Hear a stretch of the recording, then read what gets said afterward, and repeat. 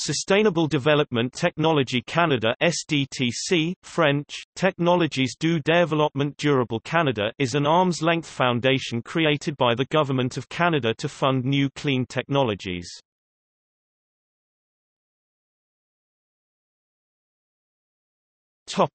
History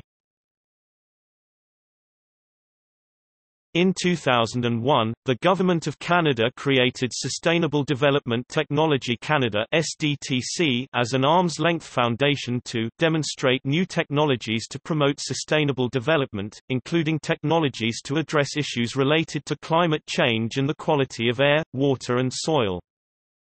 These clean technologies, such as fuel cells and biofuels, are developed through public-private partnerships with SDTC acting as a funder.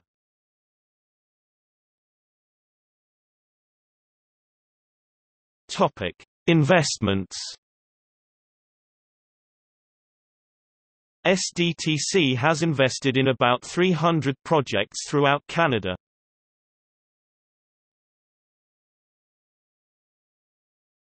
Topic: Governance.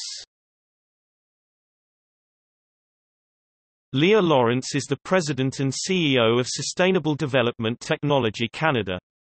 SDTC is overseen by a board of directors, with Jim Balsillie as the chairman.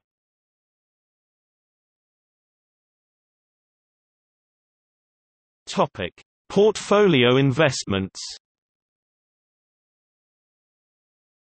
SDTC has provided funding to the following companies, among others Westport Innovations Inc., developing and marketing natural gas technology for internal combustion engines Shipston Energy Corp., of Victoria, BC Salmon Recirculation Aquaculture Project GAN Systems Solar Power Conversion Technology Giatec Scientific Inc.